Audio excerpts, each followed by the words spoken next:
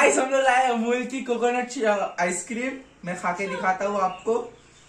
थोड़ी ठंडी है।